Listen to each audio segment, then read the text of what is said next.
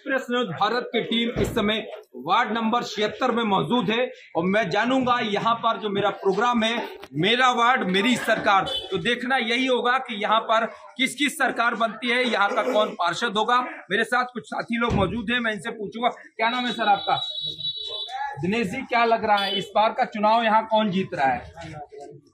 नासिर भाई, आप तो हिंदू हैं, नासिर भाई की बात करते हैं। सबका साथ सबका विकास। आपको लग रहा नासिर भाई काम कराएँगे? हम्म, कोई दिक्कत वाली बात नहीं है। आपसे यहाँ आपको कभी दिक्कत नहीं होती। कोई लड़ाई झगड़ा किसी प्रकार का सहयोग करते हैं आपका। ठीक है मेरे साथ एक और साथी मौजूद है मैं इनसे पूछूँगा सर क्या नाम है आपका? राम बाबू गुप्ता जी क्या लग रहा है? यहाँ चुनाव कौन जीत रहा है? नासिर भाई क्यों जीत रहे हैं? ऐसा क्या है नासिर भाई के अंदर विकास अच्छा करते हैं। काम बढ़िया करते हैं। अच्छा तो योगी जी को वोट नहीं कर रहे हैं आप लोग क्या? बीजेपी को वोट नहीं कर रहे हैं? बीजेपी को भी कर रहे हैं? अच्छा वो मेयर में करेंगे। यहाँ के पार्षद नासिर भाई को चुनना चाहते हैं आप लोग। ये गुप्ता फैमिली की जिस तरीके से बताया ये जा रहा है कि हमेशा हिंदू और मुस्लिम लड़ाई झगड़े की बात करते हैं लेकिन यहाँ पर एक नई मिसाल पेश होती नज़र आई है। तो उसमें देखना यही होगा कि अब 11 तारीख में यहाँ वोटिंग होनी है। यहाँ का पार्षद कौन होगा? नमस्कार दोस्तों मैं हूँ मुकेश मानव और आप देख रहे हैं एक्सप्रेस न्यूज़ भारत जिद सच दिखाने की। एक्सप्रेस न्यूज़ भारत की टीम आज लखनऊ से आला हज़रत की धरती बरेली आ पहुँची है।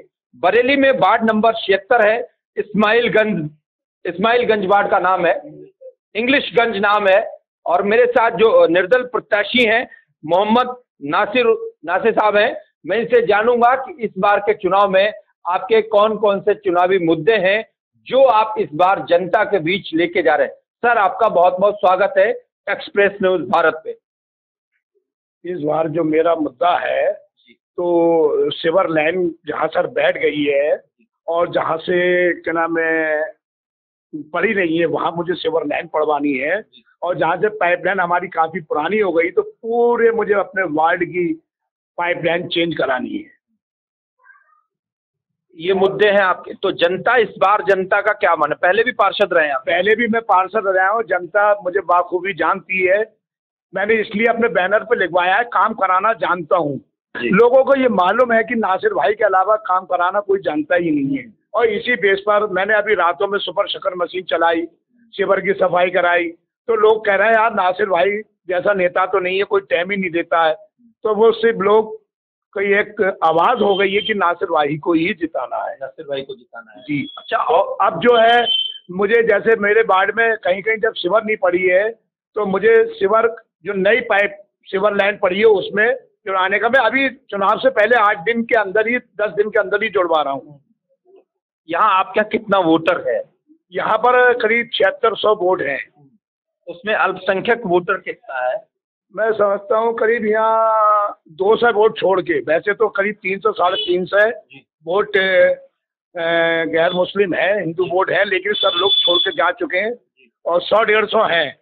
वो एक एक बच्चा आप मालूम कर लें ये सामने ही रहते हैं वो सिर्फ़ मेरे अलावा किसी को वोट नहीं देते। हैं आपको लग रहा है कि हिंदू मुस्लिम सारे लोग सारे वोट मुझे हाँ सारे ही वोट तो क्या लग रहा है कितने वोटों से आपकी जीत होने वाली है? अब आप यहाँ मौजूद हैं जा। रहे हैं साढ़े छः सौ वोटों से सात सौ वोटों से करीब मैं आपकी चुनाव जीतूँगा पिछली बार मैं साढ़े चार सौ वोटों से जीता था और अब की करीब मैं छः सौ सात सौ वोटों से मैं जीतूँ अच्छा कितने प्रत्याशी हैं आपके वार्ड में? पाँच प्रत्याशी हैं। लेकिन और प्रत्याशी ये दावा कर रहे हैं बीजेपी के लोग कि हमारी सरकार बनेगी मैं चुनाव जीत रहा हूँ। तो ये आप नोट कर लें आप भी आगे जनता को दिखा सकोगे कि बीजेपी वालों को 200 वोट और दूसरा जो प्रत्याशी कांग्रेस से जो खड़ा हुआ है उसको 300 से नीचे नीचे वोट और जो एक बल्ब से खड़ा हुआ है अनिल उसको भी ढाई तीन सौ और जो सापा का प्रत्याशी उसको मुश्किल से हज़ार आठ सौ वोट मिलेंगे। ऐसा यहाँ की जनता को क्या लगा कि वो नासिर भाई को पार्षद बनाती है वो पहले फिर बनाना चाहती वो पहले भी देख चुकी है तो दूसरे सभासद ने बिल्कुल काम नहीं करा अब पिछली बार मैं चुनाव में नहीं खड़ा हुआ तो वो पाँच साल तो बिल्कुल दिखाई नहीं गया। और मैं एक सभासद नहीं था पिछले पाँच सालों में तो मैं सिर्फ़ फ़ोन पर ही मतलब निगम निगम ना जाने के उस पर सिर्फ़ फूल अपने फ़ोन पे ही सारे काम करा देता था।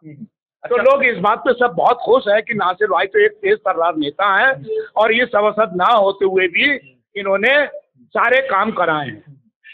क्या लग रहा है? ऐसे नेताओं की हमें ज़रूरत है जो तेज तर्रारी से अपना काम करा ले और इसी बात पर पब्लिक खुश है और बाढ़ में भी इस बात को आप मालूम करें।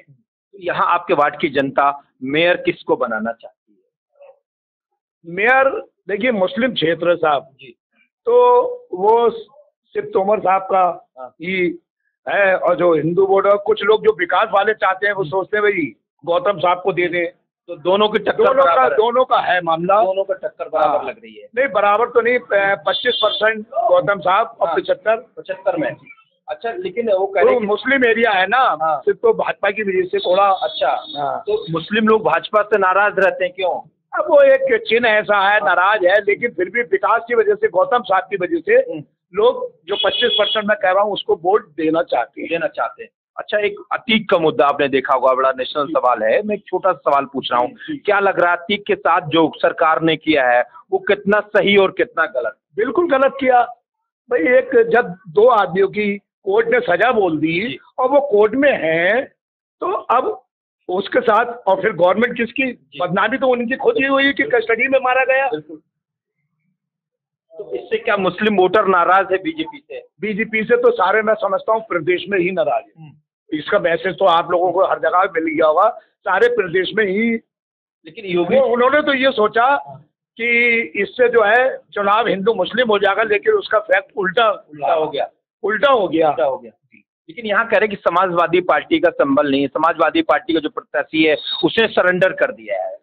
वो देखिए ये चाल थी उन लोगों की। क्योंकि तोमर साहब को हिंदू वोट भी मिलता है। उन्होंने सोचा कि मैं जो हूँ, समाजवादी से लड़ूँगा तो सीधा सीधा हिंदू मुस्लिम फाइट हो जाएगा। मुद्दा बन जाता है। तो मुझे वो उन्होंने पहले ही कह रखा था कि मैं चुनाव में आप समर्थन दे दे और मैं निर्दलीय चुनाव लड़ूँगा। तो ये एक चाल थी जो पहले उसको सक्सेना को टिकट दिया गया कि पेपर में यही निकले, पब्लिक को शो ना हो। तो इसीलिए उन्हें फिर टिकट काटना ही था और फिर तोमर साहब को ही समर्थन करना था। तोमर साहब को समर्थन किया है। अच्छा योगी जी कह रहे हैं कि एक आखिरी सवाल है कि हमारी डबल इंजन की सरकार है। अगर आप लोग हमारा मेयर जिताते हैं तो हमारी ट्रिपल इंजन की सरकार होगी। आज बरेली में कार्यक्रम भी है। हाँ तो देखिए देख कोई भी किसी भी पार्टी का कोई होता है तो वो कहता तो है ही कि हम इस टाइम पावर में हम काम कराएँगे। तो काम तो थोड़ा हुआ ही है लेकिन अब भाई वो तो अपने प्रत्याशी को जिताने की अपील करेंगे।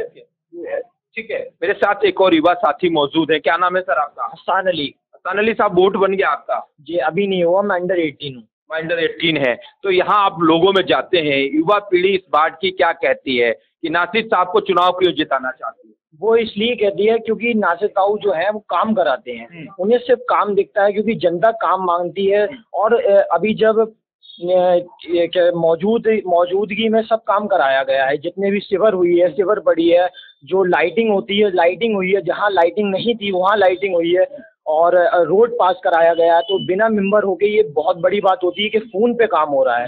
तो ये इसलिए ही जनता इन्हें पसंद करती है। पसंद करती है। जिस तरीके से आपने देखा कि नासिर साहब की जो लोकप्रियता है, वो इस वार्ड में बेशुमार है, बहुत अच्छा काम किया है, जिस तरीके से ये लोगों के सुख और दुख में कंधे से कंधा मिलाकर के खड़े रहते हैं। उसका रिज़ल्ट अब 11 तारीख को सामने आएगा, आपके सामने 11 तारीख को यहाँ वोटिंग होनी है और 13 तारीख को रिज़ल्ट आएगा। मेरा जो शो है, शहर की सरकार और मेरा वार्ड मेरी सरकार तो देखना यही होगा कि इस वार्ड में किसकी जीत और किसकी हार होती है। आप लोग देखते रहिए एक्सप्रेस न्यूज़ भारत, जिद सच दिखाने की।